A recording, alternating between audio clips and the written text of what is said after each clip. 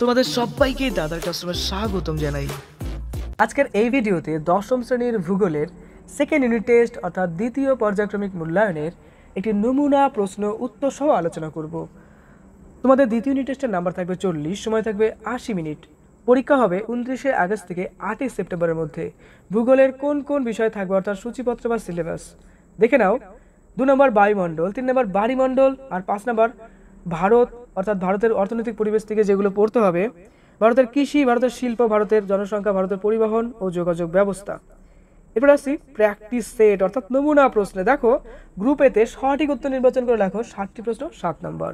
এক নম্বর টপোস্ফিয়ার ও স্ট্র্যাটোস্ফিয়ারের মধ্যবর্তী সীমান্তকে কি বলে? A mesopause B stratopause C thermosphere D tropopause এর মধ্যে সঠিক অপশনটি হবে ডি টপোপোজ এরপর দেখো, দু নম্বর, ভূপৃষ্ঠ সূর্য থেকে সর্বাধিক তাপ শোষণ করে। এ সকালে বি দুপুরে, সি বিকেলে, ডি রাতে। সঠিক অপশনটি হবে বি নাম্বার দুপুরে। তা তো বুঝতেই পারছ, দুপুরবেলায় সব থেকে বেশি গরম পড়ে। এরপরে দেখো, তিন নম্বর। মেরুজ্যোতি দেখা যায় যে স্তরে, সেটি হলো A mesosphere, B number stratosphere, C number troposphere D number ionosphere. সঠিক অপশনটি হবে আয়নোস্ফিয়ার। আমার এই কোশ্চেনটা খুব অবাক লাগে, কারণ এই প্রশ্নগুলো ভৌতবিজ্ঞানেও আছে। জান আমার উষ্ণ ও শীতল স্রোতের মিলনস্থলে দেখা যায়, এ রোদ উজ্জ্বল, জলবায়ু বি কুয়াশা ও ঝড় বৃষ্টি, সি প্রখর উষ্ণতা ডি প্রবল সত্য। এর মধ্যে সঠিক অপশনটি হবে বি নাম্বার, কুয়াশা ও ঝড় বৃষ্টি। পরের প্রশ্ন, পাঁচ নম্বর, রবি শস্য চাষ হয়, এ শীতে, বি শরতে, সি বর্ষায়, ডি গ্রীষ্মে? সঠিক অপশন এ নাম্বার, শীতে।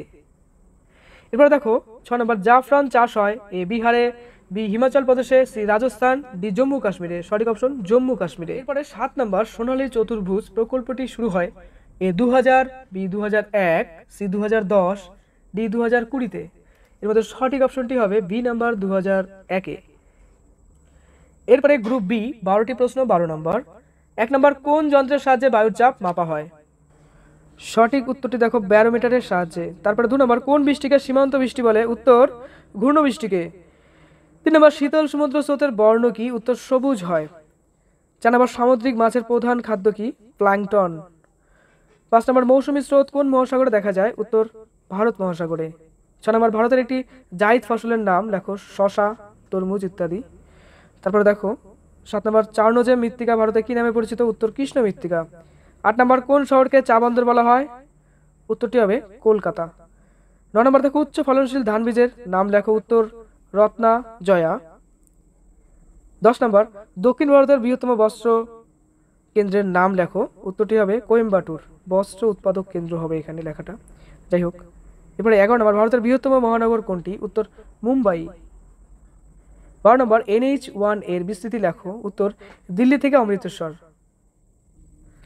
এবারে গ্রুপ সিতে দেখো, তিনটে প্রশ্ন করতে হবে, প্রত্যেকটার জন্য নাম্বার তিন করে। এক নম্বর, পার্থক্য লেখো, শান্ত বলয় ও ক্ষুদ্র বলয়, ক্ষুদ্র ক্ষুদ্রমণ্ডল দু নম্বর দেখো, আছে পার্থক্য লেখো উষ্ণ সমুদ্র স্রোত ও শীতল সমুদ্র স্রোত। তিন নম্বর মুখ্য জোয়ার কাকে বলে? ভরা কোটাল বলতে কি বোঝো?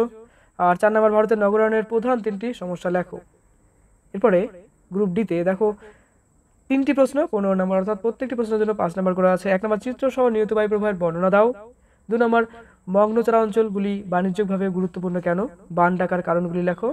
তিন নম্বর জোয়ার ভাটার সুফল ও কুফলগুলি আলোচনা করো। চার নম্বর চা চাষের অনুকূল ভৌগোলিক পরিবেশ সম্পর্কে যা জানো লিখো। পাঁচ নম্বর, পশ্চিম ভারতে পেট্রোলিয়াম শিল্পের অধিক উন্নতির কারণগুলি ব্যাখ্যা করো। এই ছিল আমাদের ভূগোলের প্রশ্নপত্র।